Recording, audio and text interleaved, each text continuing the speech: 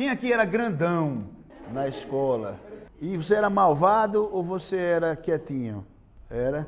Brigava na escola, pequeno, batia nos outros meninos. Tinha algum grandão que você percebia pela cara que o cara era mais mal? Tinha, né? E você percebia pela cara dele. Eu sou professor de arte marcial. Sabe uma coisa que eu fui aprendendo? Que as pessoas que já são muito grandonas e muito fortes, elas não ligam muito para treinar, porque elas já são grandes e fortes, então elas entendem que não precisam fazer muito esforço. Isso não é regra geral, mas isso acontece com muita frequência. Já as pessoas que são mais frágeis, elas entendem que precisam se preparar melhor, porque senão elas não conseguem atingir o objetivo delas. Eu estou tentando deixar claro para vocês que a maneira que a gente se percebe, a gente se relaciona com o ambiente a partir dessa estrutura. Se eu sou muito magrinho e muito frágil, eu não ajo de uma maneira que me coloca em risco. Eu posso até ser mais desafiador e mais encrenqueiro para colocar medo do outro para o outro não vir me ferir. Por isso que a gente vê tanto baixinho brabo.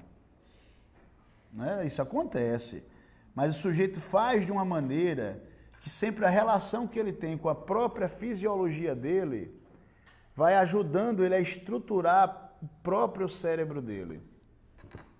Por isso que a gente diz que existe um impacto se uma pessoa é muito bonita, que existe um impacto se uma pessoa sofre uma deformidade no rosto. Eu tinha uma prima que era linda, a menina mais bonita do interior, até os 16 anos de idade.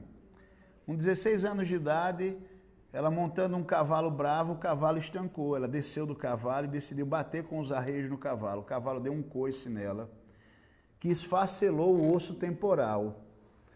Esfacelou o osso temporal e estruturas dos ossos entraram no encéfalo dela. Ela perdeu parte da estrutura cerebral dela. Eu fui olhar ela no hospital, eu cursava psicologia na época, estava pagando a disciplina de anatomia. A cabeça dela estava enorme, e eu senti muita tristeza, que se ela vai morrer.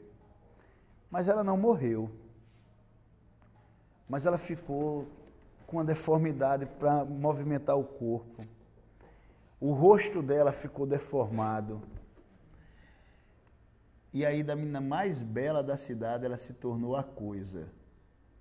E a coisa mais impressionante era ver o psicológico dela como foi difícil se reestruturar, porque aquilo que tudo antes vinha com facilidade, que todos a cobiçavam e que todos ali tratavam ela de uma maneira, porque havia muitos outros interesses subjacentes, agora era outra coisa.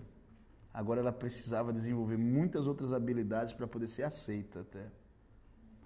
Estão entendendo? Então existe um impacto sobre o nosso próprio formato, sobre o que nós somos, a nossa estrutura, sobre a estruturação das nossas aprendizagens.